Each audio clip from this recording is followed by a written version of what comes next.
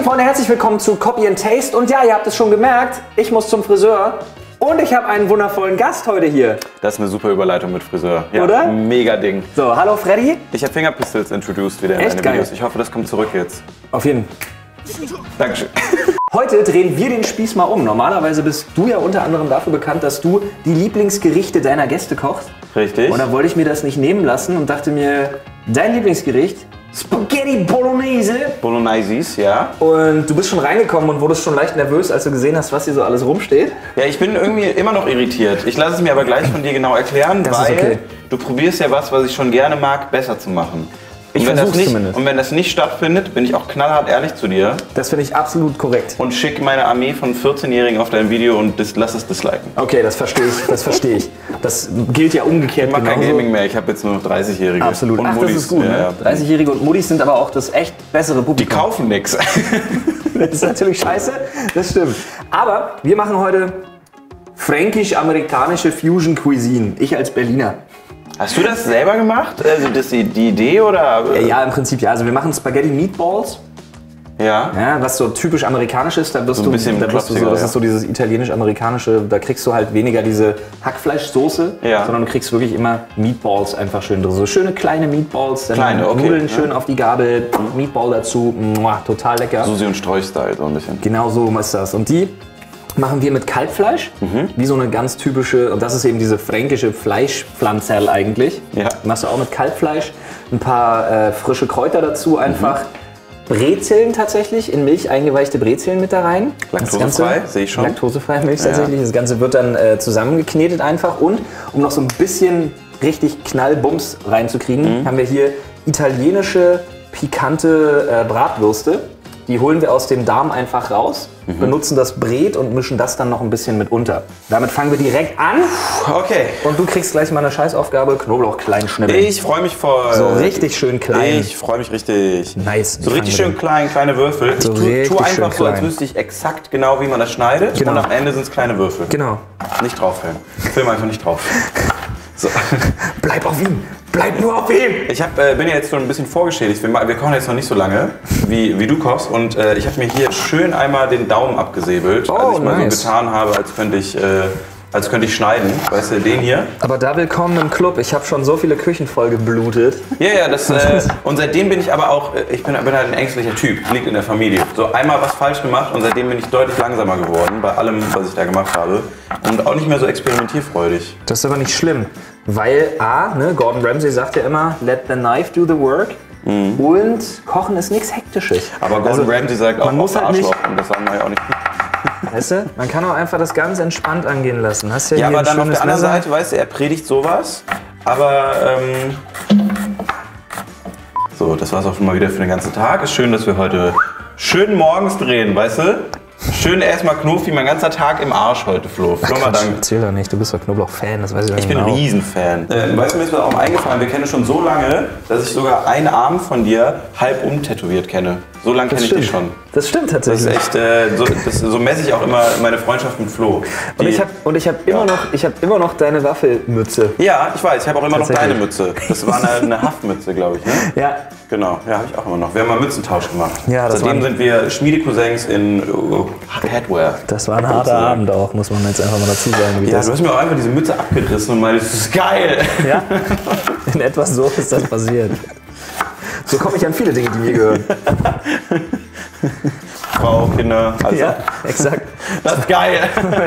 Genau so. Und wie habt ihr euch kennengelernt? Ach, ich war in einem Club, fand sie ganz nett. Caveman-Style. Guck mal, du hast neun Zwiebeln schneller geschnitten als ich so kleine Knoblauchdingerchen. Das ist doch, äh, das ist doch nicht mehr normal.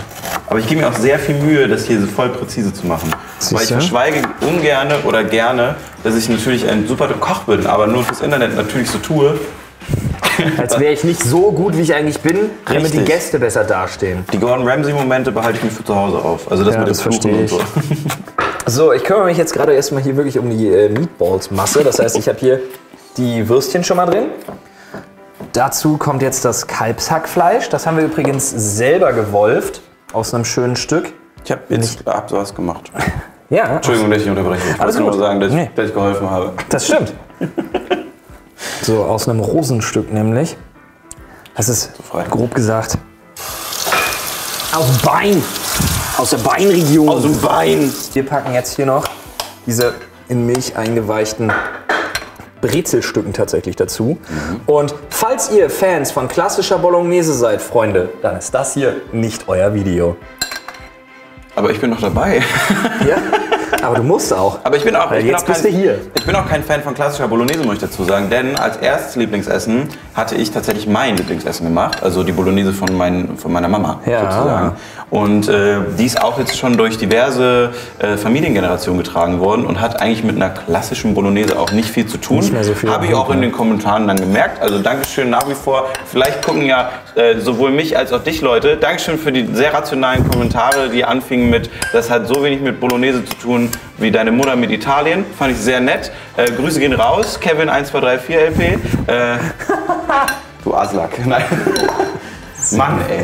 Nee, aber die äh, sind auch ziemlich ausgeflippt. Aber du sagst ja extra dazu. Es hat mit klassischer Bolognese nichts zu tun. Es ist Spaghetti Meatballs. Äh, eben durch dich inspiriert, weil du ja Bolognese-Fan bist. Und ich komme aus Süddeutschland. Ja, siehst du. Das ist für mich eigentlich ein absolutes Fest. Schön Brezel und Spaghetti. Das ist alles, was ich mag, in einem Gericht. Das ist Siehste? im Prinzip so, als wenn sich so ein Elternteil von mir damit auseinandergesetzt hätte, weil ich alles nicht esse, was ich denn mag. Was er denn eigentlich mache. isst. Was zur Hölle ist denn dieses Kind?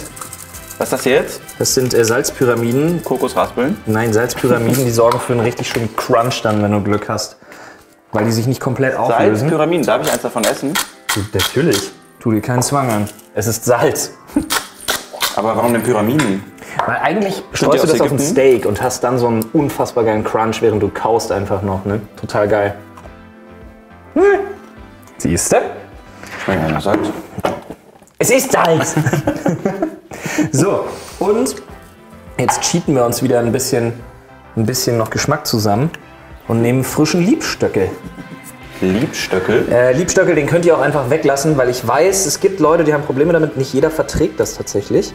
Ja, das finde ich raus heute. Das ist das sogenannte Maggi-Kraut. Und das heißt nicht, Ach, um- das ist das. das heißt nicht umsonst Das musste ich so. mal finden. Habe ich nicht. So, und das Ganze, die ganze Lumumpe hier, Yes. auch ein sehr schönes Wort, wird jetzt einfach verknetet. Lumumpe. I love it. wir Du hast kein Problem damit, Hack einfach so anzufassen, ne? Überhaupt gar Bei nicht. mir ist es auch nicht so schlimm. Bei mir ist nur die Temperatur immer schwierig. Wenn du so frisches Fleisch Das heißt, durch den Wolf ja, und es kalt und dann ich habe so total Probleme mit Kälte an meinen Fingern. Echt? Ja, total. Aber das ist ja jetzt hier auf Raumtemperatur. Ja, dann ist okay. Ich habe noch äh, ein paar Redethemen natürlich mitgebracht. Das ist sehr schön. Erinnere mich aber gerade nicht dran. Wir stehen hier seit 50 Minuten und du hast 19 Lichter aufgebaut. Also das sah hier vorher komplett anders aus. Hier war auch keine Küche. So. Hier ist normalerweise ein Bett. Wir sind gerade in einem Airbnb. Genau. Hammerding. Ich benutze das ja auch eigentlich für meine Videos gerade. Ne? Ich habe da auch immer den Leuten erklärt, dass es deine Küche ist. Nicht damit ich hier den Shitstorm bekomme des Jahres. Aber da können, wir direkt, da können wir tatsächlich direkt mal was klären. Die Leute rasten nämlich immer völlig aus. Warum ist da ein Bild von den Space Frogs im Hintergrund? Weil Sag die Leute einfach, immer, dass du ein Fan weil die. Leute immer davon ausgehen, dass ich hier wohne. Aber das ist falsch, Freunde. Das hier ist unser Büro. Also eines unserer Büros. Ich klau dir mal deinen Knoblauch kurz. Wenn du den jetzt noch kleiner machst, bin ich enttäuscht. Bro, Aber ich dann- könnte es verstehen. nein, überhaupt nicht. Gar nicht. Darum geht's nicht. Ich brauche nur die Fläche am Herd. Ja. Weil wir fangen jetzt so richtig schön an. Du hast noch Hack übrig mit gelassen. Wurzeln. Ich habe noch Hack übrig gelassen, genau. Ich bin gespannt. Für was? Wir geben ein bisschen was davon in die Soße für diese kleine grisselig Konsistenz, die eine Bolognese ja normalerweise hat. Aber nur ganz wenig dann noch mit zum Anschwitzen nachher. Jetzt machen wir erstmal die Meatballs und die braten wir im Prinzip nur vor. Das heißt, von einer Seite richtig schön scharf anbraten, dass sie ein bisschen, bisschen crispy werden, ein bisschen äh, Röstaroma kriegen. Dann nehmen wir sie aber wieder raus, weil die nachher dann in der Soße erst fertig garen sollen. Okay. Sonst wären sie zu trocken. Also aber auch nur von einer Seite. Das heißt nicht Genau. wenden. Einfach nur einmal Genau. reinlegen und dann okay. So ist der Plan. So, hier Ich bin jetzt. sowieso fasziniert, dass er gerade in Hackfleisch eine Brezel ist. Das ist für mich schon. Hui, hui. Wie machst denn du Bouletten? Also jetzt nicht Burger Patties, sondern so. Also, es gibt vielleicht ein Video dazu auf meinem Kanal. ist das so? Ist nie so gut gelaufen. Geil. Ich bin auch richtig gespannt.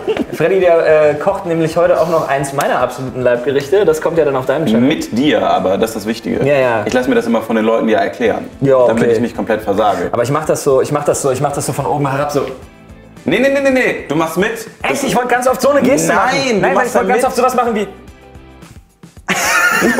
Das habe ich schon genug von meinen Eltern bekommen damals. Du musst jetzt nicht auch wieder anfangen. Okay, alles klar. Ich sehe, du, Du, hast einiges du, zu du hast, verarbeiten. Du hast drei Jahre studiert und willst jetzt YouTuber werden. ja. Du müsstest nur noch ein halbes Jahr machen für deinen Bachelor. Ich sehe, da Gute Lebensentscheidung. Auf jeden Fall.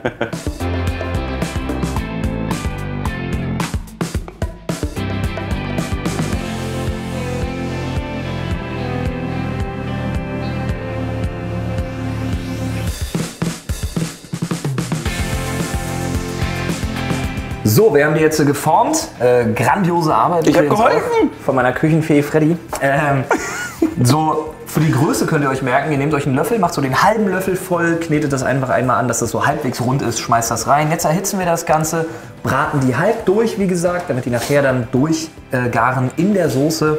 Nehmen das alles raus und dann geht's an die Soße, dickt dann ein bisschen ein, dann kommen die dazu, dann machen wir die Nudeln frisch, ne? das kann ja dann vor sich hin blubbern und dann wird auch schon gegessen.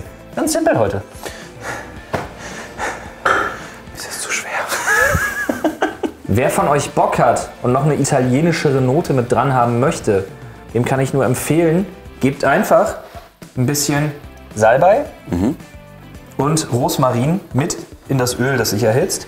Könnt ihr einfach so dazwischen legen, wo Da ihr Platz reinlegen? findet. Genau, Und dann geht das darüber. Genau.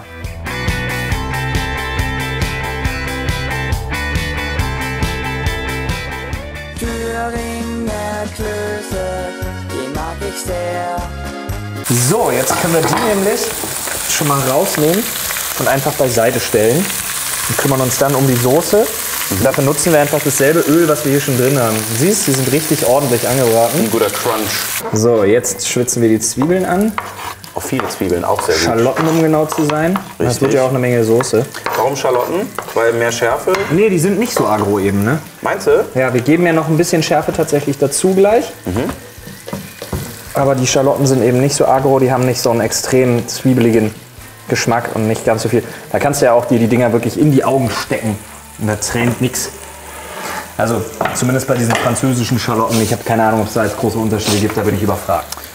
Ja, weiß ich nicht. Also ich habe auch noch nie diese Schalotten, die du da benutzt hast, gesehen gerade eben. War ja ziemliche, ziemliche Röhren. Soll ich äh, umrühren?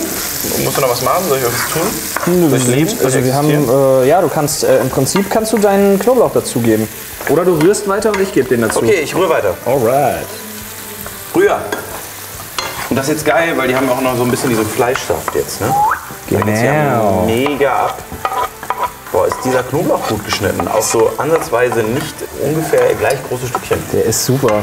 Das muss sein. Das ist die, das, das, das transportiert die Individualität. Weißt du? Broadcast Ja, yourself. Zwiebeln und Knoblauch anbraten, vorher die Bulettchen an Reicht gehabt. immer, Das ne? ist immer, Wenn das denkt, so, wenn man den Geruch mal in so einem Gericht nur übernehmen könnte, ich würde auch Richtig. Zwiebelknoblauch essen den ganzen Tag. Also so. Scharf oder pikant? ich würde bei pikant bleiben, weil ich glaube, der Magen muss heute noch durch einiges durch. Und falls es ins Auge geht, dann äh, ja. Ja, wir machen nur pikant. Da wir Kalbsfleisch verwendet haben, löschen wir das Ganze auch mit Kalbsfond ab. Richtig, habe ich auch gelernt. Äh, hat nur vier Jahre gedauert, bis ich das gerafft habe. So. Oder Gemüsefond geht ja auch immer, ne? Ja, Gemüsefond geht natürlich Geht zu auch. allem. Habe ich auch gelernt. Aber wir wollen ja ordentlich Aroma, Aroma, Aroma. Aroma. Die gute alte Aroma. Dosentomaten. Dosentomaten, was jetzt passiert? Nichts Besseres. Einmal passiert und einmal stückig. Die gibt es auch mit Chili, habe ich letztens rausgefunden. Jo, aber haben wir ja selber gewürzt. Finde ich auch tatsächlich ein bisschen charmanter Stimmt. als dieses Eingemachte. Gut. Okay, aber das war einmal stückig und einmal Passiert. Nur, einmal nur passiert, ja. Genau. Zu stückig mag ich es nicht. Zu stückig ist nicht mal so mein Favorite. ist nicht so mein Ding. Jetzt einfach alle weggucken. Geben natürlich noch Bechamelsoße rein. Schüsschen, Schüsschen Sahne. Bechabolo. Ein Schüsschen Sahne mit dazu einfach für einen guten Taste. Und schmecken dann, wenn sie ein bisschen eingekocht ist, schmecken wir sie ab. Weil, würdest du jetzt würzen, Sahne? ist der Nachteil. Was? Nein, die Soße, Digga. Sahne da reingetan? Ja, ein bisschen. Ja. Ich sag ja gerade, es ist ein sehr amerikanisches Spaghetti Meatball. Zane. Erstmal eine schöne, gute Runde Zane reinmachen. So ist das wohl. Ähm, aber tatsächlich, also es ist saulecker. Jetzt aber nochmal abschmecken. Immer erst, wenn sie quasi die Wunschkonsistenz erreicht hat. Dann würdest du sie jetzt würzen und sagen, "Mm, jetzt ist on top, jetzt ist on point, Ja. jetzt ist geil, big time. Und dann geht sie ein, verkocht, Ja. ne? wird von der Masse her ja geringer. Ja. Auf einmal ist natürlich das ganze Gewürz, was drin ist, viel intensiver, Ha, weil ja, es klar. insgesamt auch weniger Flüssigkeit dann ist. Und dann denkst du Also- dir, scheiße, also vorhin das- war gut, jetzt ist versalzen. Das Ding, was ich immer mit, äh, mit Brühen habe. Da ist ja schon Salz drin Ja. oder es verkocht und ich habe es gesalzen. Hm. genau so. Immer. So, jetzt ist äh,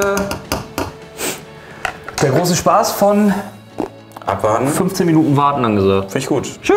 2000 Jahre später. Okay, ihr seht, die Soße, die ist schon ganz wunderbar eingedickt. Wir haben die jetzt einfach nur ein bisschen gewürzt, wirklich einfach mit Salz, Pfeffer, ein bisschen Oregano. Und dann habe ich noch ein bisschen was einfach von dem Hack, das wir übrig hatten, mit dazugegeben. Und jetzt möchte ich an dieser Stelle nicht nur Käse auf die Spaghetti hinterher reiben, sondern habe mir gerade überlegt, das habe ich aber ehrlich gesagt, drin, das habe ich ehrlich gesagt auch noch nie gemacht. Oh, das ist nicht gut. Das äh, Das werde ich nicht, jetzt, lass nicht experimentieren, ist so gut bis jetzt. Doch, doch, Oh, ich werde hier ein bisschen ist so gut Käse- bis jetzt gewesen. ich werde hier ein bisschen Käse ranmachen. Nur ein Aber, bisschen. Aber warum? Damit die Bolognese Fäden zieht? Ich weiß auch nicht genau. Mal gucken, wie es wird. Wenn du schon mal hier bist, du experimentierst doch nonstop, dann will ich jetzt auch Ja, aber, mal. aber für mich ist halt schon ein Muffin ein Experiment, weil ich es noch nicht gemacht habe, Flo. Das ist ein bisschen anderes Level als Parmesan in der Bolognese. ja, aber ist doch geil. nee, das ist warum ein nicht? Fehler. Nein, ich glaube, dass es geil ist. Trust me. Trust me. Was wir jetzt machen ist, wir setzen jetzt unsere Fleischbällchen da rein. Kobe. Dass sie einfach nur... Ich dachte, du ziehst jetzt durch, weißt du, so von da. Nein. Und dann alle so nebeneinander. Aber auch auf die angebratene Seite, nicht umgekehrt dann. Ja, ich will ja, dass sie auf der Seite crispy sind quasi. Und dass sie dann hier wirklich jetzt nur in Guck der mal, wie du das anrichtest. Soße... Weil ich hätte das Brett jetzt genommen, so. Nein, nein, nein, nein, auf keinen Fall. Weil das ist ja wirklich, das Auge isst mit.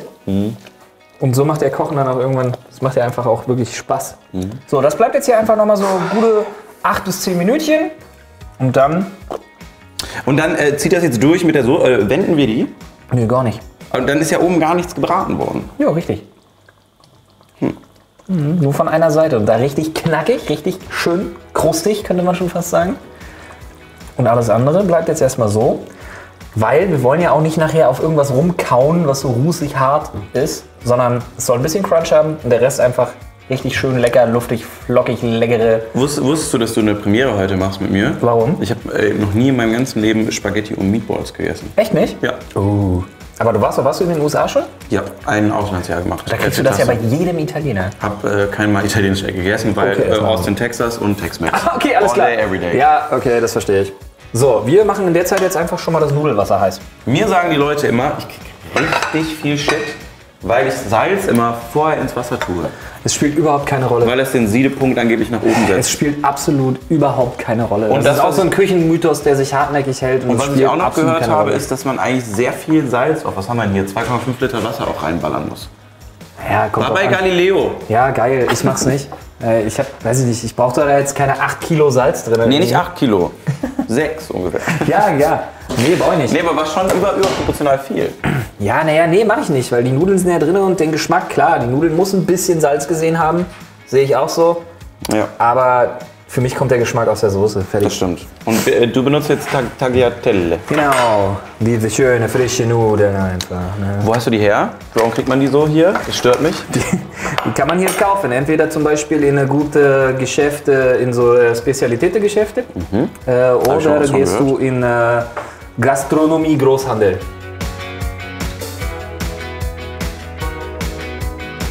So, das habe ich jetzt erstmal hier umgerührt. Das ist so gut wie durch. Da haben wir auch die Hitze jetzt einfach rausgenommen. Da brauchen wir nichts mehr. Es soll nur noch warm halten.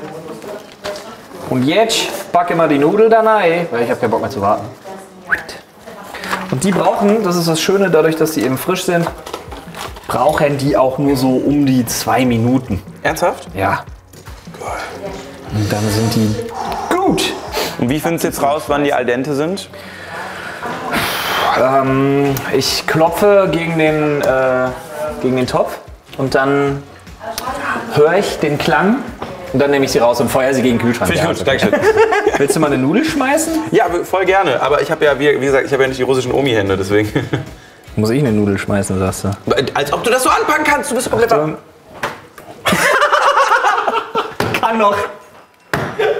Kann noch. Das auch gegen geklatscht.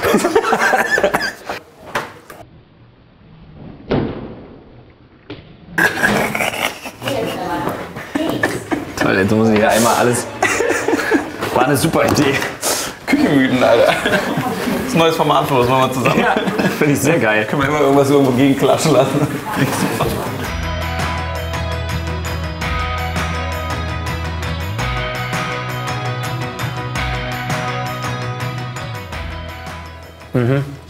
Ja, ich glaube, so geht das. Warte, Es klatscht nicht. Das wir testen nochmal.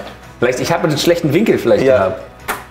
Oh, aber Na, sie besser. lief schon mal runter. Ja, genau. Das sind jetzt wie diese ähm, Männchen, die ihr von den Straßenhändlern immer kaufen kannst. Reicht uns das? Hui. Oh, ich bin richtig glücklich gerade, ne? Man sieht es kaum, aber ich bin, glaube ich, sehr glücklich gerade. Man sieht's kaum. Ich lasse mir das nicht so anmerken. Heute wird so viel Gutes gegessen, ne? Heute wird so viel Gutes gegessen, ich sag's dir.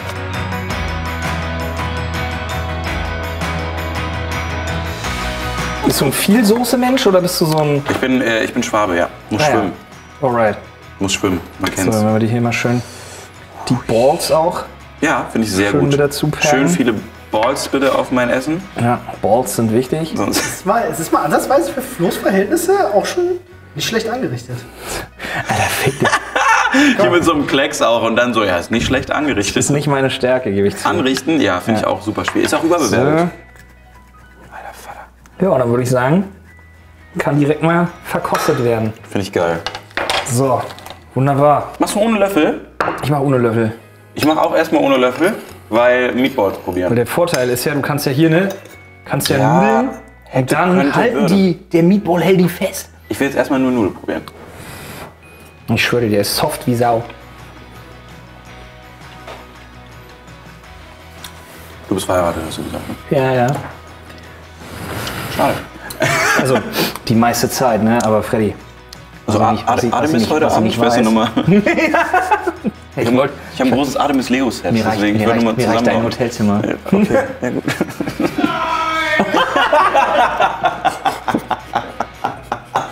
Nichts war passender. Schärfe gut getroffen. Mega. Meatballs sind toll. Es ist wirklich, ist wirklich leicht bekannt. Nudeln. Es ist so heiß. Und was bei den Meatballs halt wirklich toll ist, du kaust nicht auf so einer festen Hackfleischboulette rum. sondern Die sind schon, das ist schon fast ein Sommergericht. Boah. Richtig lecker. Ja. So, Freunde, ihr kennt das Motto, ja, ne? Äh, macht's nach, macht's gut, macht's besser. Schaut auf jeden Fall bei Freddy mal vorbei. Schaut euch an, wie wir meinen, eins meiner Leibgerichte kochen. Ne? Jetzt schon. Einmal. Einmal. So, wir essen erstmal weiter und dann euch noch entspannten Tag. Tschüss und bis zum nächsten Mal. Peace out.